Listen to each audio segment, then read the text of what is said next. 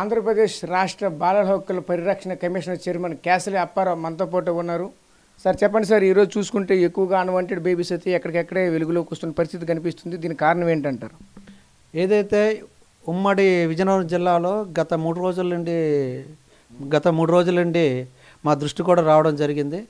అయితే ఇటువంటి సంఘటన జరగడం చాలా దురదృష్టకరం చాలా బాధాకరం. అయితే ఎవరైనా మేము ఒకటే చెప్తున్నాం ఎవరైనా ఎవరికైనా అన్వాంటెడ్ బేబీస్ గట్టి ఎవరైనా ఉన్నా ఏదో కొన్ని ప్రత్యేక పరిస్థితుల్లో వాళ్ళు గర్భం దాల్చవచ్చు అలాగే ప్రసవించవచ్చు అవి వాళ్ళకున్న ప్రత్యేక పరిస్థితుల్లో.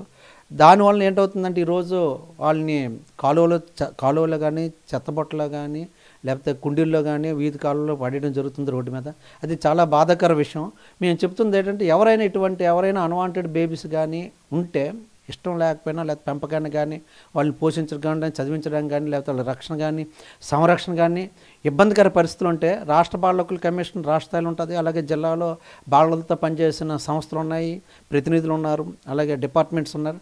అంతేకాకుండా గ్రామ స్థాయిలో సచివాలయాలు ఉన్నాయి అలాగే అంగన్వాడీ కేంద్రాలు ఉన్నాయి. వీళ్ళందరూ కూడా వీటి మీద పనిచేయడం జరుగుతుంది. ఎవరికైనా ఇటువంటి పరిస్థితులు వస్తే తప్పనిసరిగా ఆ డిపార్ట్మెంట్ సంప్రదించి ఇలా వాళ్ళకి అందజేసినట్లయితే ఎందుకంటే ఈరోజు చాలామంది రాష్ట్రంలో పిల్లలు లేని కొంతమంది కుటుంబ యజమానులు కానీ ఎవరైనాను పిల్లలు లేక చాలా ఇబ్బందికర పరిస్థితులు ఎదుర్కొన్నారు అటువంటి వాళ్ళకి మనం సహాయం చేసినట్టు అవుతుంది.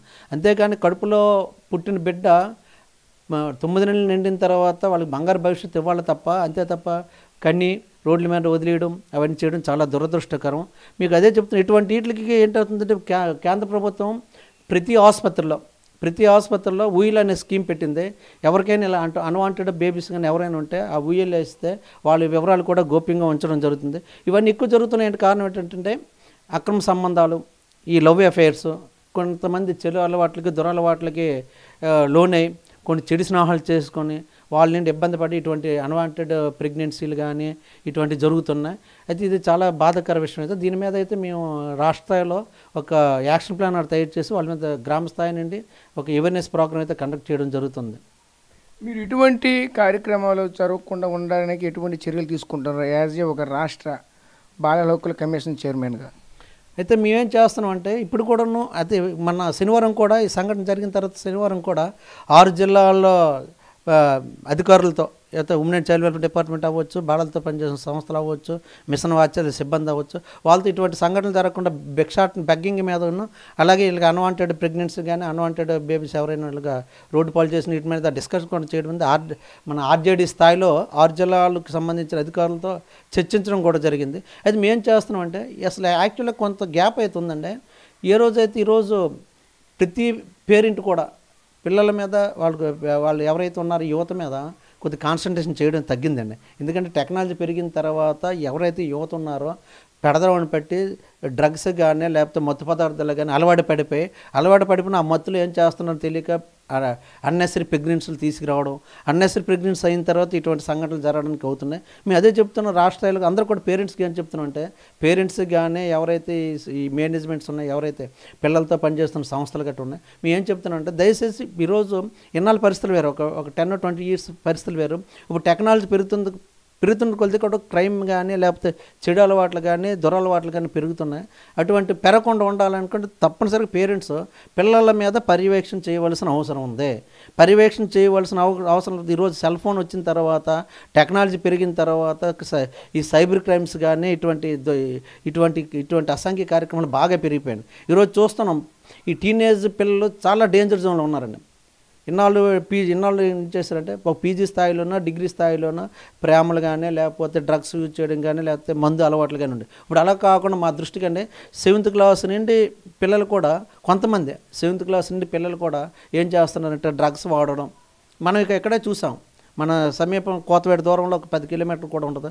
మూయిదిలో కూడా గత సంవత్సరం డ్రగ్స్ తీసుకుంటే ఇద్దరు పిల్లలు మాకు పట్టుబడ్డారు అంటే ఇప్పుడు ఏంటవుతుందంటే విచ్చలవిడిగా అంటే కొంత ఏటవుతుందంటే ఇన్నాళ్ళు వాళ్ళకి అందుబాటులో ఉండేది కాదు. ఈరోజు విచ్చలవిడిగా డ్రగ్స్ అయితే అవ్వచ్చు లేకపోతే మందు అయితే అవ్వచ్చు అన్నీ కూడా విచ్చలవిడిగా అందుబాటులోకి వస్తున్నాయి. దాన్ని ఏం చేస్తున్నారంటే వీడు ఒక ఫ్యాషన్గా తీసుకొని వీళ్ళు చేస్తున్నారు. మేమేం చేస్తున్నాం ఈరోజు ఇటువంటి సంఘటనలు జరగకుండా ఉండడానికి ఏంటంటే ఒక యాక్షన్ ప్లాన్ ఒకటి తయారు చేయడం జరుగుతుంది.